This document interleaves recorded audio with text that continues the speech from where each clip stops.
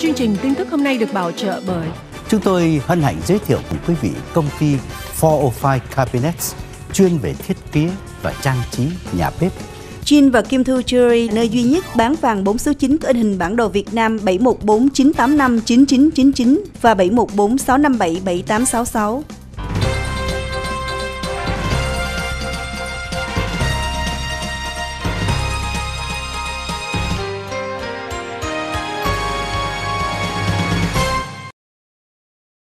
Hôm nay mình xem địa lý một tí cho vui quý vị nhé. Nhất là những quý vị nào chưa bao giờ đi trên đường xa lộ 10 từ California qua tới Arizona.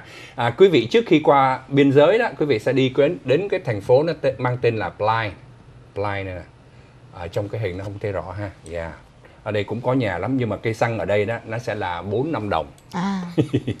quý vị băng qua chịu khó đi xa chút xíu thì ở đến đây nó có cái thành phố đó tên là Quartz à vào trong này thì xăng ở đây có cái cây xăng đẹp to lắm. Vào đó mua đồ ăn chúng tôi nghỉ ngơi đó. Khi mà băng qua đường biên giới thì thì ghé vào đây để nghỉ ngơi. Thì ở tại đây thì à, bởi họ họ cũng khuyến cáo nha. Nếu mà quý vị không đổ xăng ở đây đó là quý vị đi một mạch mấy chục mai luôn đó mới có cây xăng khác. Cho nên thường là đó là lý do tại sao đến quá sai là bao người bao nhiêu người cũng dừng lại hết tí cho vui để cho thấy cái giá xăng đã gây ảnh hưởng đến tâm lý của chúng ta như thế nào. Và rất nhiều người nói, trong đó có Thảo Yên nói, nhất định chiếc xe sắp tới Thảo Yên sẽ mua là xe điện. Chúc may mắn, Thảo Yên.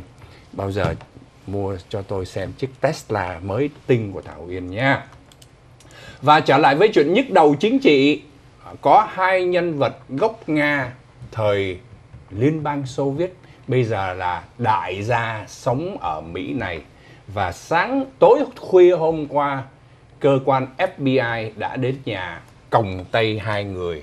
Oh. và quý vị thấy ngồi kế bên à, tổng thống Trump và một người à, kế bên ông à, luật sư Trump chứ Rudy Giuliani và một nhân vật rất ủng hộ tổng thống Trump. Và hai tên này thì chắc phải có cái mối quan hệ mật thiết với Putin lắm á. Nhưng mà muốn ảnh hưởng tới chính trị Mỹ và hai nhân vật người Nga này một tên là Lepanas. Đây là Lepanas. Một là Igor Fruman. Cả hai đều là triệu phú. Và đây quý vị thấy cái tướng à, rất là đại gia không? Đây là con trai trưởng của ông Trump đây. À, ngồi kế bên đây. Và trong hai nhân vật người Nga này. À, lý do là hai người đã vi phạm vào luật tranh cử của nước Mỹ. Không được hỗ trợ mà trong đó có cái chuyện mà nếu mà cung cấp tiền bạc cho một ứng viên tổng thống thì không sao. Nhưng mà một khi quý vị tìm cách cung cấp những cái tin tức mật liên quan đến đối thủ của tổng thống Trump, tức là ông Joe Biden á, thì điều đó đã vi phạm. Chưa kể là theo bản tin ghi nhận vào tháng 5 năm 2018 cả hai nhân vật này đã tặng cho Đảng Cộng hòa 325.000 Mỹ Kim và thêm các tổ chức khác nữa.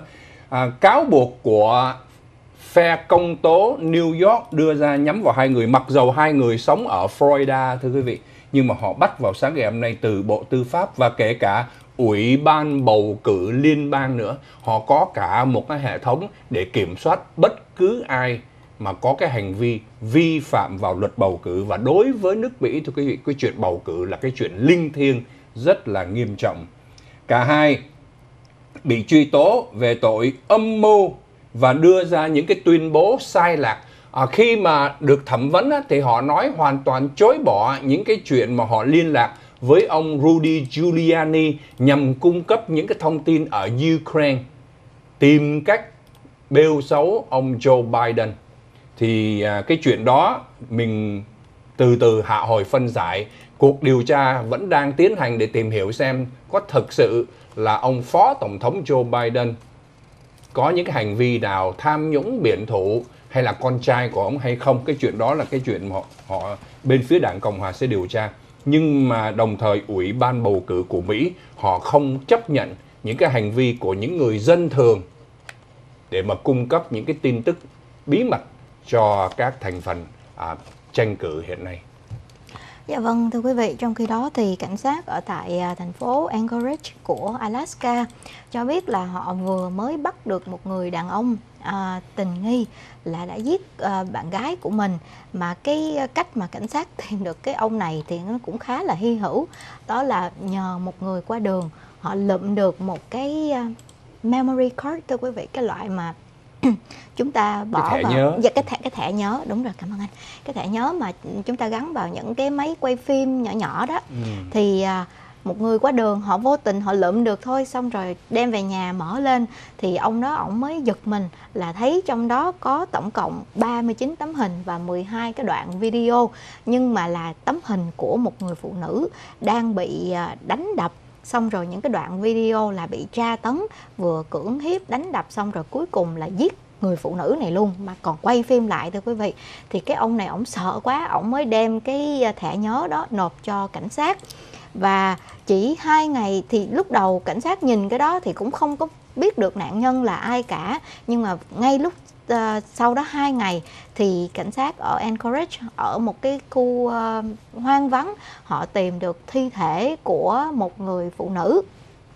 Thì khi đó cảnh sát họ nghi ngờ là có thể uh, cái cái nơi mà tìm được thi thể người phụ nữ này thì à, cách cái chỗ mà à, cái cái cái ông mà ông lượt được cái thẻ nhớ đó chỉ có khoảng mười mấy hai mươi mai mà thôi. Cho nên cảnh sát họ nghi ngờ không biết là cái thi thể này có phải người phụ nữ ở trong hình hay không. Thì họ mới đem đi giảo nghiệm tử thi. Thì cuối cùng họ đã tìm ra được đúng thật đó là người phụ nữ đó thưa quý vị.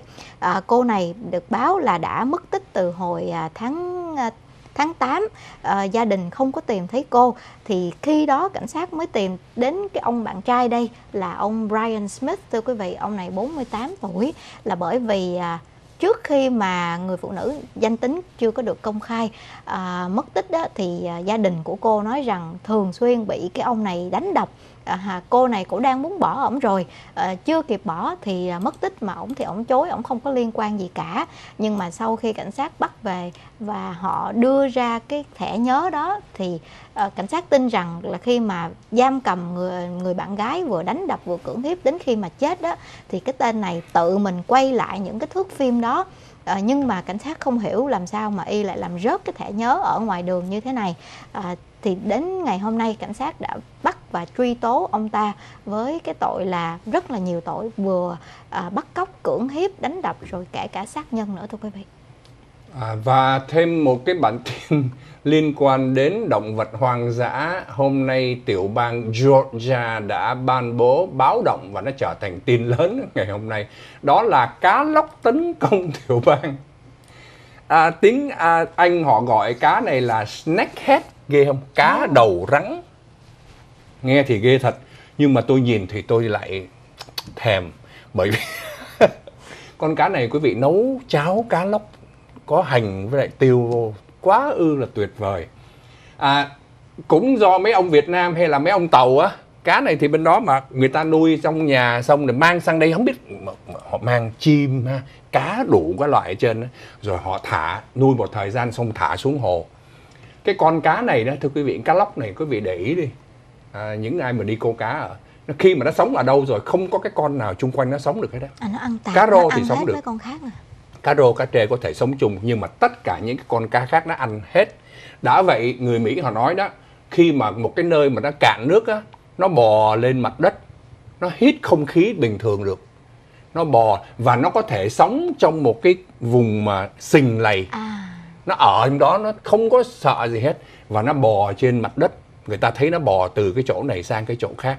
Cho nên họ nói rằng gặp là phải giết ngay hôm nay lệnh ban bố lệnh khẩn cấp tiểu bang.